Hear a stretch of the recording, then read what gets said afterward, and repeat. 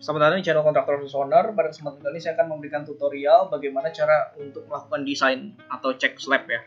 Nah, slab ini biasa nggak masuk kalau dimensinya terlalu panjang ya. Untuk video sebelumnya ini adalah uh, pembebanan gempa, respon spektra, dan juga untuk mode shape bisa dicek di channel ini.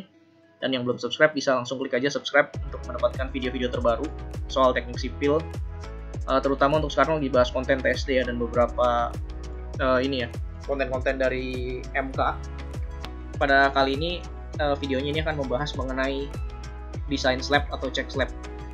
Tahap ini penting sebelum mendesain uh, elemen struktur yang lainnya karena kalau udah struktur lainnya udah didesain, udah file udah berat, ternyata slabnya ini belum masuk gitu. Nah, untuk uh, desain slab ini yang pertama harus dilakukan itu adalah pembebanan ya sebenarnya. Uh, jadi untuk pembebanan ini combination ini ini baru ada beban gempa aja belum ada beban yang uh, biasanya.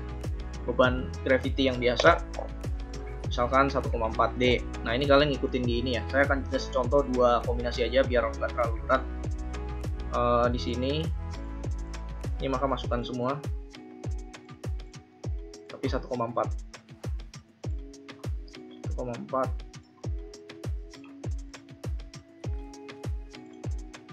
ada lagi yang 1,2D tambah 1,6L tambah 0,5 LR nanti ada yang 1,6 LR segala macam nah itu kalian juga masukkan.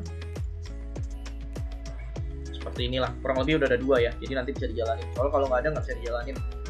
Nanti untuk itu analyze analyze all static di sini. Dia akan menganalisis analisis struktur secara statik Nah ini kita akan pergi ke tab desain kalau udah uh, bagian desain slab. Nah ini ternyata merah semua. Nah kita kan bisa lihat di sini kenapa merah semua. Uh, cek slab kita kan bisa lihat di sini.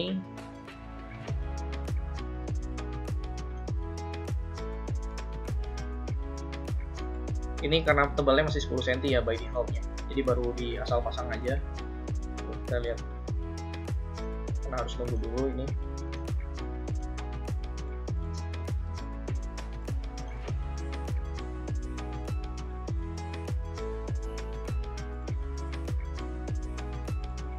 Nah ini, jadi dia ini uh, ada rumus Hamin ya. Sebenarnya belum karena beban karena bebannya masih ringan nih. Haminnya 125. Ini ngitung dari rumus SNI. Uh, eh, jadi ada ngitung Hamin yang ada beta, ada alfanya segala macam itu eh, setengah. Jadi minimal ya 13 cm ya. Kalau gitu kita blok semua slabnya kita pilih slab item. Nah ini jangan pakai 10 kita ganti 130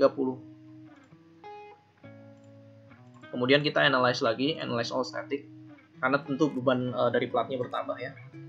Kalau udah desain uh, desain slab Nah, maka sudah hijau semua. Nah, jadi seperti itu untuk desain plat ya. Kadang juga bisa karena reinforcementnya, uh, karena mungkin beban momennya terlalu besar. Kalau misalkan beban di sini ditaruh yang besar ya. Misal kalau menggunakan beban yang besar, karena ini kan baru uh, contoh aja jadi yang simple. Jadi seperti itu untuk desain slab. Jadi pastikan ini warnanya hijau dulu sebelum desain struktur ya. Kalau udah strukturnya sudah jadi, jadinya belum hijau, nah itu nanti akan loadingnya lama repot lagi. Karena perlu diotak-atik lagi. Dan kalau strukturnya udah banyak itu ya agak ribet ya. Karena siapa tahu aja kita ingin slabnya juga berbeda-beda ininya untuk ketebalannya jadi benar-benar dia dihitung. Kita akan cek lagi coba ya.